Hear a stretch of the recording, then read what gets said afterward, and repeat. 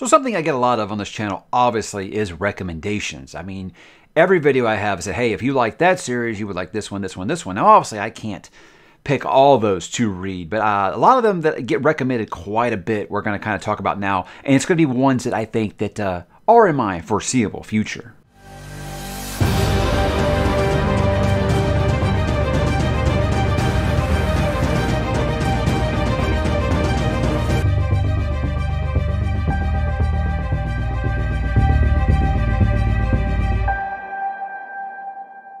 Hey, what's up, bookworms? Mike back to do some more of this, uh, talking about what I'm going to read instead of what I've actually read. Now, what this is, guys, like I said, a series that get recommended to me a ton. And I mean, these are ones that pretty much is like I've gotten the most requests for me to read that I haven't started yet. Now, the deal with this is, is I want to kind of limit it to series that I do think will be happening for the foreseeable future, as I call it, which is basically like the next fiscal year or so. So don't hold me to this because things can always change with the schedule, especially now that it's kind of like the Wild West with my TBR again.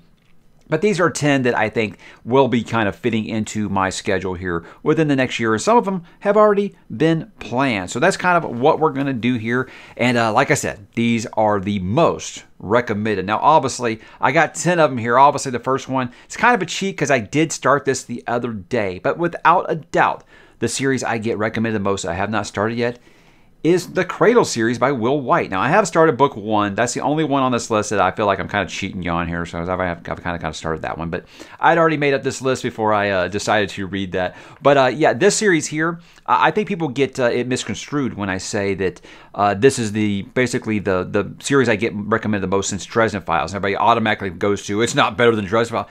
I, I, can't say I haven't read that far to say if it's better than Dresden Files. I don't think that's what anybody's saying. I think everyone's saying it is similar to Dresden, Dresden Files in that you can fly through them and that they are quick reads, but yet they are as deep as you want to get with them. If you just kind of want to enjoy them as you know your popcorn flick, you can do that. If you want to really get into it and chew that meat, this is a series you can do that with. So uh, I'm not that far in it to really say anything about it, but I think this is going to be a series, unlike some of these others where I will, you know, if they're like a trilogy or something, I'm just going to kind of go through them, you know, in, in a row. Uh, with this, I think this is going to kind of be like Dresden Files was while I was working through, uh, you know, some epic fantasy series like Wheel of Time, where I would kind of use them as like, you know, hey, I got a few days before the next book starts. Hey, I can fit one of these in. These are even smaller than Dresden Files and seem to read just as quick. So, yeah, I think this will kind of be like my comfort read whenever I either need a break from something big or I've just got a few extra days Cradle is going to be it. And like I said, guys, this fandom is wild. They've sent me the first eight books in the series, and I think there's going to be 12 when it's all said and done. I think uh, 10 of them are out now.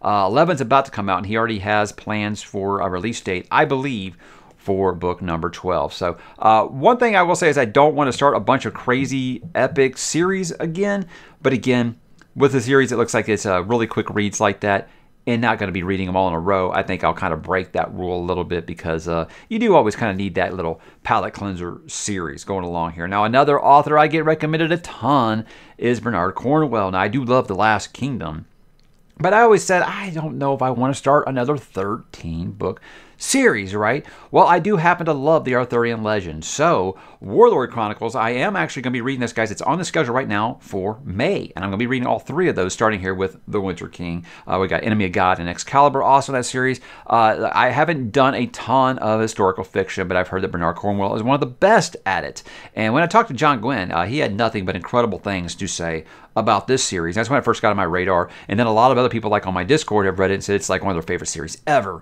So uh, I'm excited to do it. Like I said, I, I love the original The Morte d'Arthur. I think that's just such an incredible story. I mean, the Arthurian legend, so many things have borrowed from that. Uh, it really it's just it's amazing stuff and I, I, think that anyone anytime you got an author as, as recognized as bernard cornwell kind of giving his take on arthur uh, this is going to be something that i think that i will enjoy immensely and we will find out in may but yeah i can't do any video about anything that has anything to do with ancient England without someone saying, well, you got to read the Warlord Chronicles. So it is going to happen. Like I said, that one is on the schedule in May. I'm going to do all three of them that month. So if you want to join me, hey, feel free. Now, the next one on here is, is kind of interesting because I had said that I was interested in reading it, but it wasn't like a high priority for 2022. But then I talked to Jake Bishop on the channel, one of my Talk About Nothings, and he really sold this series hard to me. It says, all the things he knows that I like. He thinks I'm going to just eat this series up. This, of course, is the Greenbone Saga by Miss Fonda Lee. Now, I have Jade City, and uh, what's book two? Is it Jade Legacy or Jade War? I can't remember which one book two is. Anyway, I haven't got the third one yet. I'm waiting for the paperback release. But uh, I, I, do plan to uh, to do this one in 2022 based off of our conversation, things that he said about it. Uh, I, I, really don't know very much about it. I've heard some people compare it to kind of like uh, Priest of Bones by uh, by Peter Macklin, which I also haven't read. So I'm like, okay, well, I don't really know, but I think it deals with like uh, you know organized crime in a fantasy setting. So hey, that sounds really neat. Anything that gives a fresh setting is something I'm always going to be interested in giving a shot, uh, except uh, military fantasy, because I think I just burned myself out on that one. But with this, uh, yeah, I, I, don't think I've heard very many people that have started it and didn't love it. And I've kind of made the joke at a time that, like a couple years ago, I felt like I was the only booktuber who hadn't reviewed Jade City. So better late than never. Uh, I, am fine with a lot of these things now, guys. Is a uh, I always say that I, I, I'm guilty of being one of those people who says they're going to wait for a series to be complete. I don't like to do that with a debut author because it feels like it really hurts them.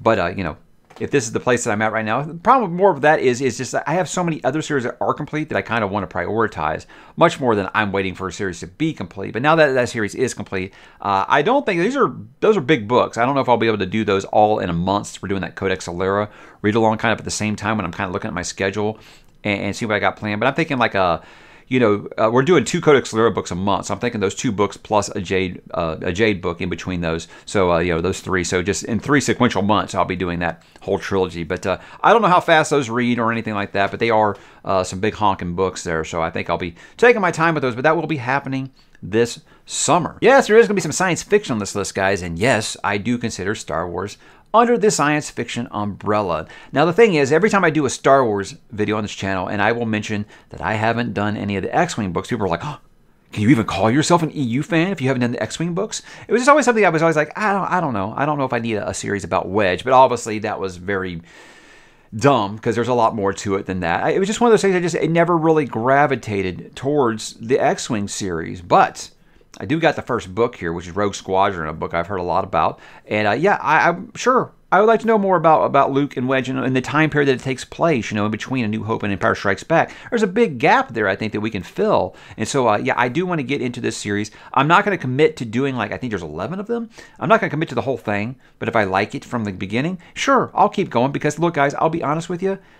I'm not crazy about the new Star Wars canon. If you're a frequent watcher of the channel, you know this. But I do love uh, what they call legends now, what I call canon. But uh, yeah, this that, this being set in that time period, I miss it. I miss it, and I've read over 60 something novels in the original EU. And so, uh, sure, I would love to fill out some of those gaps that I don't know here. So, uh, yeah, I'll be doing this one later this year. And again, I think it's just a, a huge, huge amount of praise for that series from fellow fans of the original EU. The EU that matters. Next up, guys, I did read Broken Empire by Mark Lawrence uh, once upon a time. It's when this channel was really in its infancy. Uh, I, I, really did like the first book. Second book, I was kind of like, ah, and third book, I just kind of, I just kind of checked out. I just, I never found anything redeeming about. Look, I love a, a dark character. I, I love that. I, I, can follow less than savory characters. Sand dan Glokta, one of my favorite fantasy characters of all time. Not a nice fellow, right? But when I was reading Broken Empire, I just I could never get into Jorg. I just thought he was a sociopath, so I could never really get into it. So it made me go ahead and shelve Mark Lawrence for a while because I had uh, the the Red Queen books as well ready to go, and I was like, it's in the same uh, it's in the same universe. I don't I don't know. Maybe that's just not for me, but. The constant has been a lot of people have told me you should try Book of the Ancestor. I think that'd be more of what you were looking for. Now, I don't have a physical copy of that. I just got it on digital here. So, uh, you know, I say digital books count.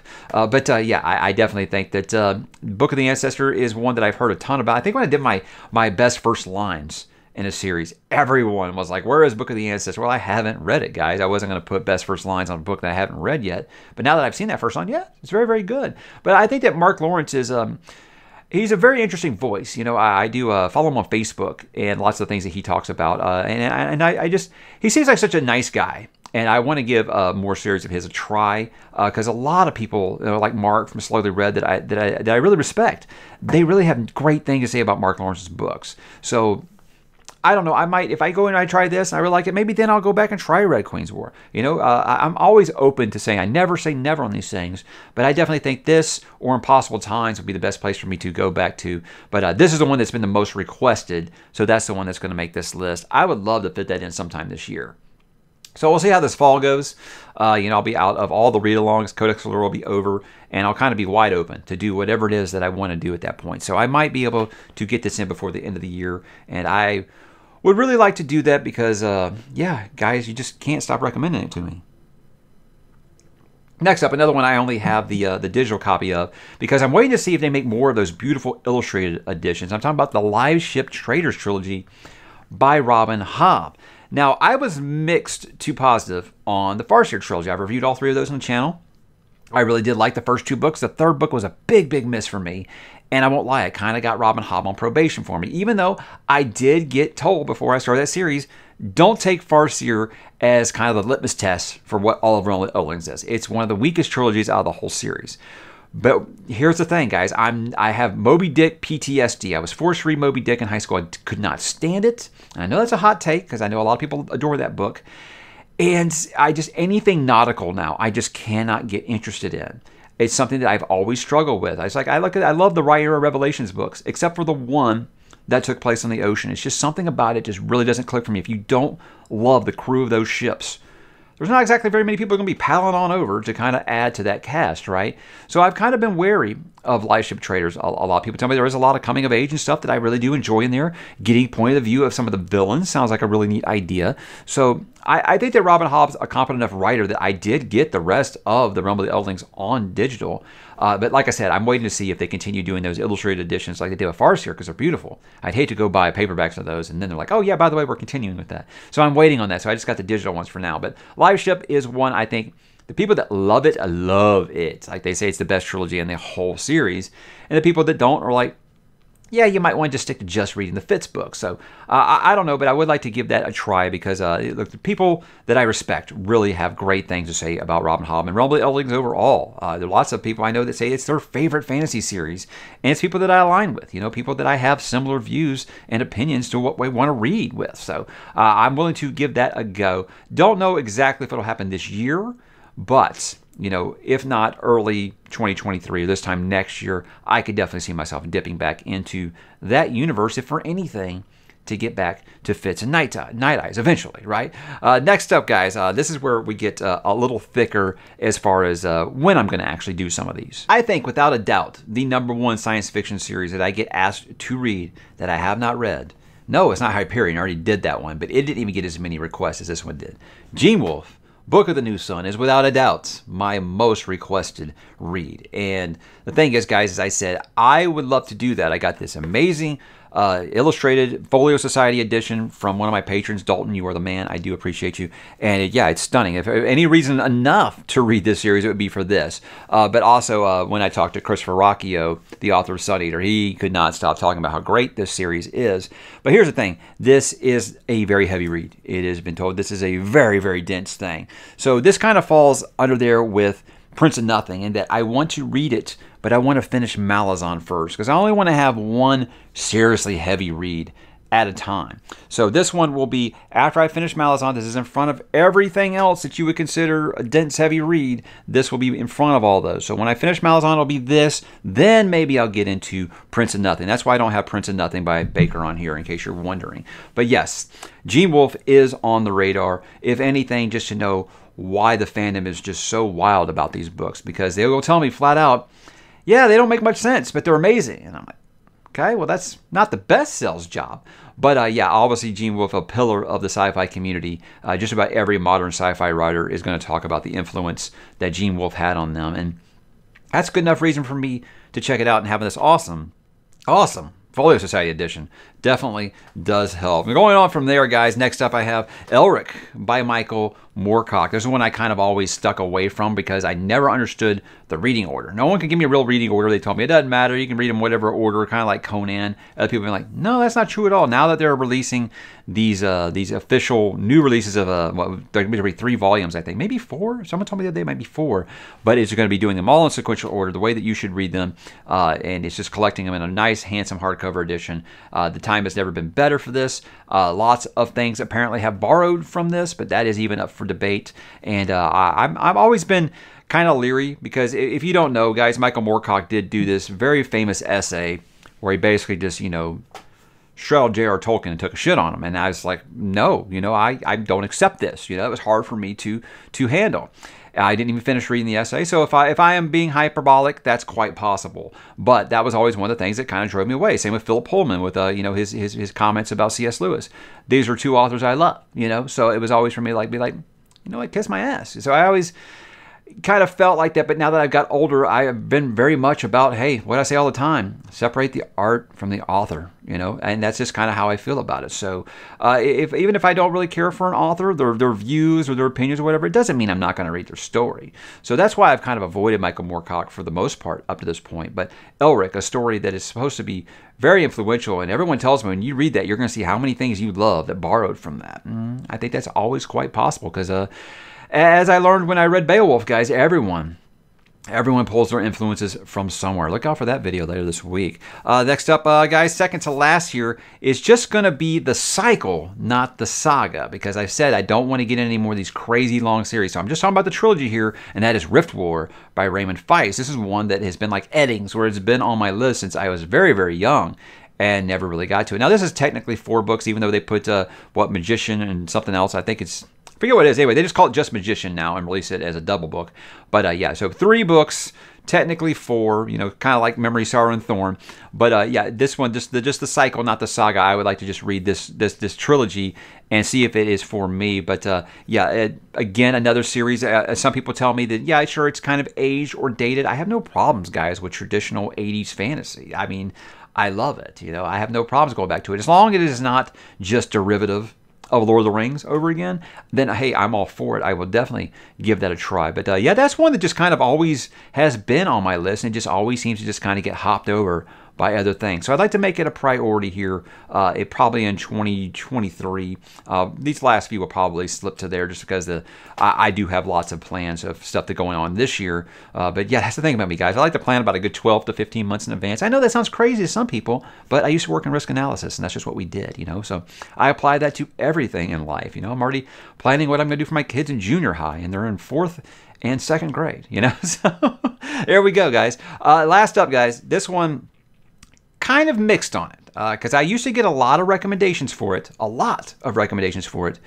And then the fourth book came out, and it's been kind of a tepid reception. And I'm kind of leery about starting a series where everybody's talking about how he did, did not stick the landing. But I am so interested in reading The Books of Babel by Josiah Bancroft. Uh, the thing with this is it's is it steampunk fantasy or something progressive fantasy. I've heard about all these progression fantasy. I think that's what somebody told me that uh, that Kratos called. I don't know, guys. Like I said, with these subgenres, I get confused.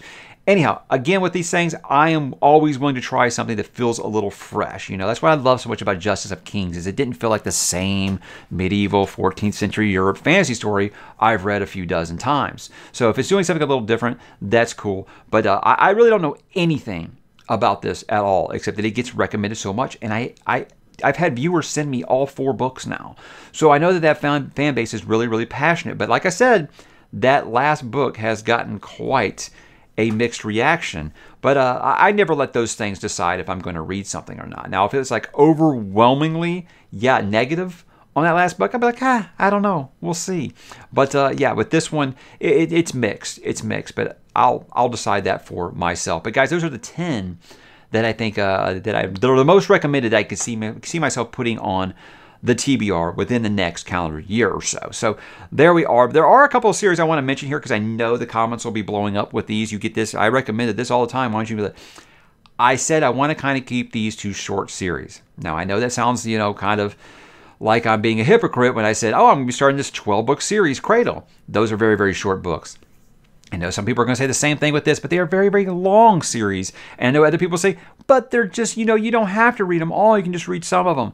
I am not like that. I'm not wired like that. That's why I've avoided these Horus Heresy books because there's a million of them, you know. So uh, the, the ones I really want to talk about here, Drenai Saga, David Gemmell. Now, really, it's not just Drenai. It's everybody says you like John Gwynne, you would love David Gemmell. Uh, you should definitely check out his stuff. Now, what I own is Drenai, and I think it's like 11 books. So that would be the series that I read first. And again, I don't want to start an 11 book series right now. So that's why that one kind of slipped off of here. Discworld is probably one of the most recommended book series I get on this channel it's like 45, 47 books, guys. That's just not something I'm willing to commit to right now. And when I do something like that, I want to be able to commit to it or make it my official palate cleanser series. So that's just something I've got to kind of be in the right frame of mind to say I am going to tackle that head on. So uh, that's why it's not on here right now, just because I don't have it in the plans right now. But sure, I am interested in reading it eventually because everyone tells me how much I love Guardians of the Galaxy that I would love Discworld. And last up, R.A. Salvatore. This is Forgotten Realms, the uh, Legend of Drizzt. I always say it wrong, so I just kind of like to play around with it. Again, like 30 something books. So uh, I own the first three, you know, and I, can see myself maybe doing just the three sometimes because uh, I, I don't know if it's like that. If it's you can do trilogy, trilogy, trilogy, like you would do Robin Hobb or something like that. Not sure. But again, you see the number of books in these series and you're like, oh, you know, like there's this book series I've had for years, guys, called The Saga of Recluce. I can't even think of the author right now. Drawing a blank.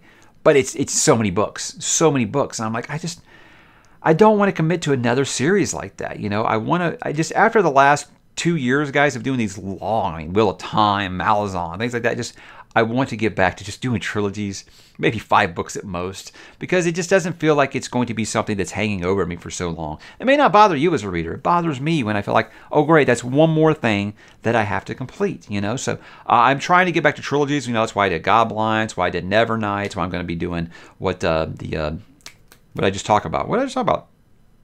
Warlord Chronicles, thank you. Uh, Warlord Chronicles, that's why I'm going to be doing uh, the Shattered Sea by Joe Abercrombie. I want to get back to trilogies where I can just read these in one shot and be done with it because it just feels more satisfying to me as a reader to kind of get back on track with not feeling overwhelmed by some of these long, crazy series. But guys, thank you so much for these recommendations. Some of these I would have never, ever thought about giving a try. If it wasn't for your persistence, the squeaky wheel does get the grease. So, guys, what are some series that get recommended to you a lot that you are thinking about giving a try? Uh, are there some? Are they something that I've recommended to you? Hey, I love that. Drop in the comments and let me go, guys, and I will talk to you there.